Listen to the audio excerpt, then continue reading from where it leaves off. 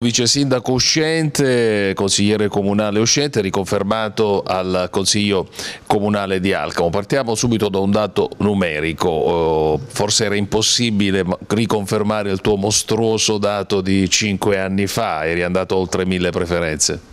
Ma io penso che di impossibile nella vita non ci, sia, non ci sia niente se non andare contro natura. Abbiamo ottenuto comunque un grandissimo risultato, è stato un lavoro un lavoro di, di gruppo, anzi colgo l'occasione per ringraziare tanti amici, parenti, eh, persone che mi hanno conosciuto per lavoro in, questo, in questi cinque anni di amministrazione per ringraziarli di cuore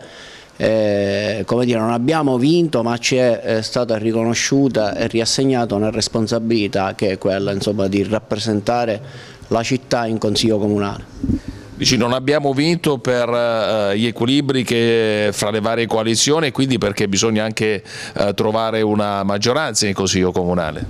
No, dico non abbiamo vinto perché in politica quando si vince non è che ti assegnano un premio, ti viene data una responsabilità che è quella di, di rappresentare le persone. Io eh,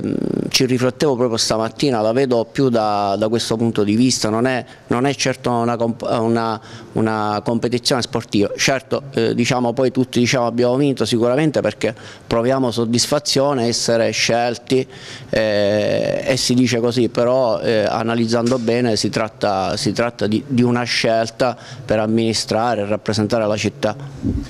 Le liste, le tre liste a sostegno dei surdi hanno avuto un ottimo risultato numerico, tu sei stato il più votato, quindi sembra automatico dire che eh, ritornerai a mettere la tua esperienza a servizio di un assessorato.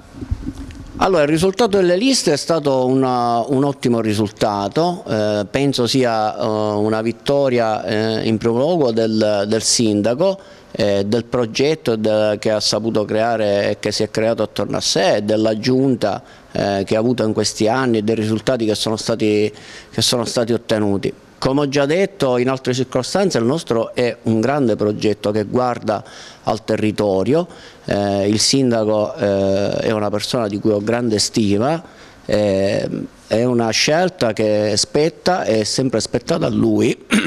ne parleremo sicuramente, io sono eh, sempre a disposizione come lo sono sempre stato, però a prescindere da questo penso che eh, c'è molto lavoro insomma, da fare per il territorio e quindi eh, avremo modo di parlarne insomma, e, e, capire quale può essere il mio ruolo, non ho nessuna pretesa al riguardo, l'ho sempre detto, l'importante è trovare eh, le persone migliori tra quelle disponibili che possono amministrare. Questo voto disgiunto che è nelle libertà dell'elettore, che è stato comunque particolarmente massiccio per un paio di liste, eh, pensi che possa provocare quello che qualcuno dice che l'amministrazione possa essere ostaggio del Consiglio Comunale? No, io non penso, io devo dire la verità, eh, in questi anni ho avuto modo di, di, apprezzare tanti consiglieri anche della minoranza o dell'opposizione come la vogliamo definire perché poi penso che tutti noi nel cuore insomma, abbiamo la, la, nostra città quindi poi si cerca di lavorare. Io penso che se, sulle buone proposte mh, tranne particolari casi dubito che ci possa essere come dire mh, sì, muro contro muro, che possano essere eh, strumentalizzate, non penso, penso che gli equilibri si possono assolutamente trovare.